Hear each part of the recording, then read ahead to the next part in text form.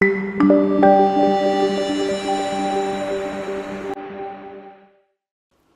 kính chào quý vị khán giả.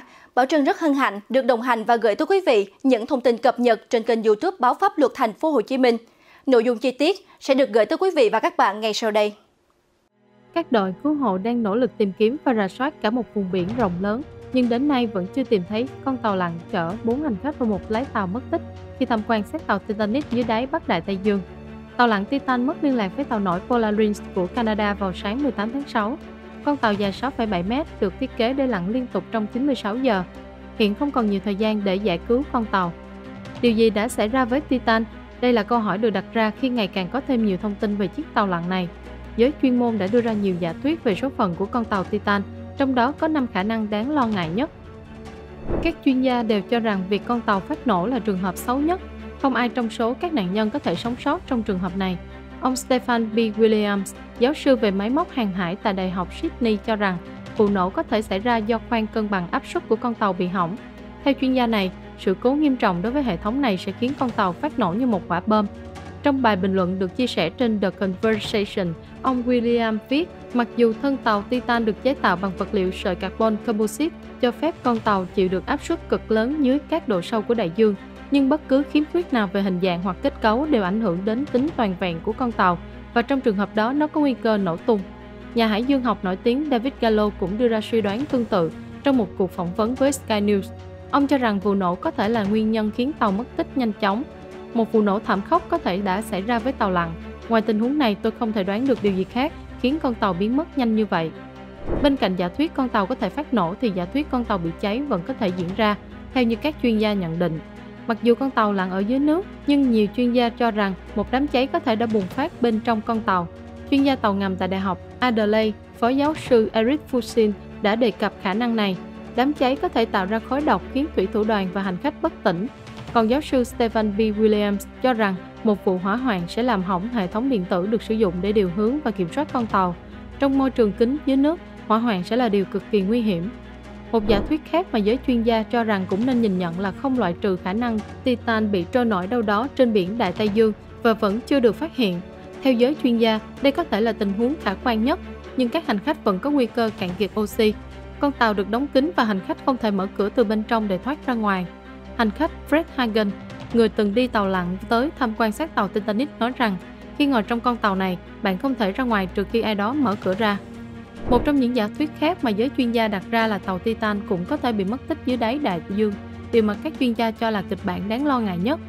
Ông Arthur Ketter, một chuyên gia tàu ngầm, người đồng sáng lập các công ty Oregon Extraordinary Escape and Submet cho rằng sự cố kỹ thuật hoặc sự cố máy móc nghiêm trọng, chẳng hạn như mất điện có thể xảy ra bên trong tàu lặn.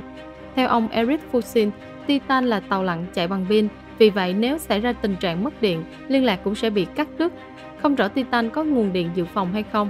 Các hành khách cũng có thể bất tỉnh do nồng độ oxy trong tàu ngầm thấp. Theo đánh giá, nếu sống sót, con tàu này chỉ có thể cung cấp oxy trong chưa đến 24 giờ.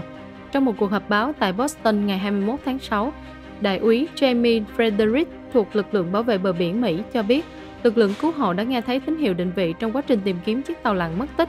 Theo ông, máy bay săn ngầm B-3 của Canada đã phát hiện âm thanh lạ tại vùng biển Bắc Đại Tây Dương. Vì thế, nỗ lực tìm kiếm được chuyển hướng với mục tiêu định vị nguồn gốc phát ra những âm thanh này. Các đội cứu hộ vẫn hy vọng họ sẽ xác định được vị trí tàu lặn mất tích trước khi nó hết oxy. Chiếc tàu lặn cũng có thể bị mắc kẹt ở vị trí nào đó trong đống đổ nát của tàu Titanic, cũng là một khả năng mà các chuyên gia đưa ra. Tình huống này trước đây từng xảy ra đối với một con tàu lặn khác. Chuyên gia Williams cho rằng kịch bản này rất khó xảy ra nhưng không thể loại trừ.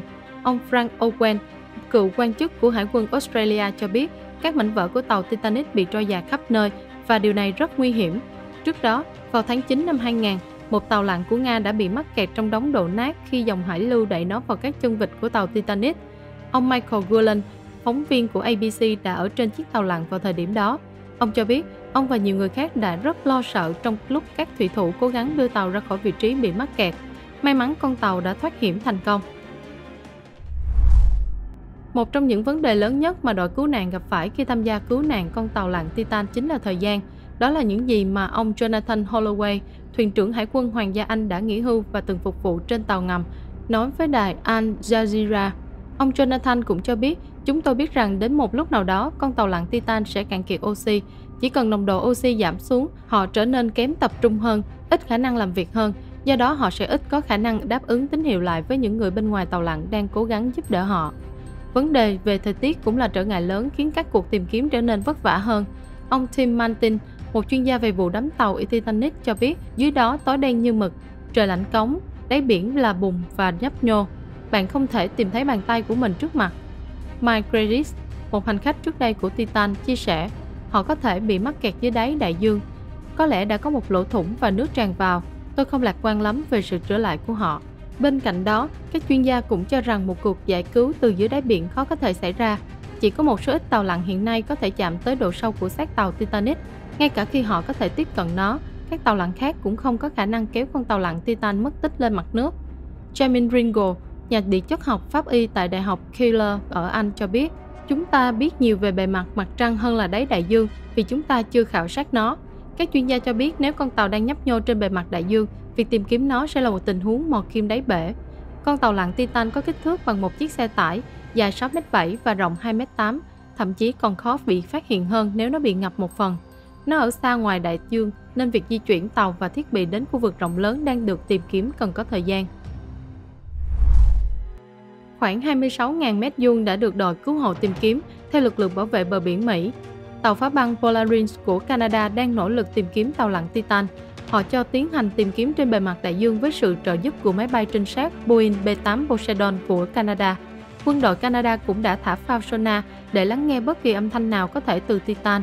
Ông Jamie Frederick thuộc đồn cảnh sát biển số 1 ở Boston cho biết một robot dưới nước cũng đã bắt đầu tìm kiếm ở khu vực lân cận tàu Titanic và đã có một nỗ lực để đưa thiết bị trục vớt đến hiện trường trong trường hợp tìm thấy chiếc tàu lặn. Hai máy bay Lockheed C-130 Hercules của Mỹ đang thực hiện các chuyến bay trên không và ba chiếc C-17 của Bộ Tư lệnh Cơ động Hàng không Mỹ cũng đã được sử dụng để di chuyển thiết bị hỗ trợ và tàu lặn của một công ty thương mại khác từ Buffalo, New York đến St. John's để hỗ trợ tìm kiếm. Theo quân đội Canada, một tàu hải quân Hoàng gia Canada cung cấp một đội y tế chuyên về y học lặn và một buồng giảm siêu áp di động cho 6 người cũng đang trên đường đến vào ngày 21 tháng 6. Ông Holloway nói, vấn đề cực kỳ quan trọng là tìm ra chiếc tàu lặn. Nếu nó ở trên bề mặt, họ có cơ hội chiến đấu. Nếu nó nằm ở độ sâu của xác tàu đắm, thì tôi nghĩ thời gian không còn nhiều nữa. Những thông tin vừa rồi cũng đã khép lại chương trình của chúng tôi. Bảo Trân rất mong nhận được sự quan tâm và đồng hành của quý vị và các bạn dành cho các chương trình trên kênh YouTube Báo Pháp Luật Thành phố Hồ Chí Minh. Đừng quên nhấn chuông theo dõi chúng tôi để không bỏ lỡ bất kỳ thông tin nào. Xin chào và hẹn gặp lại.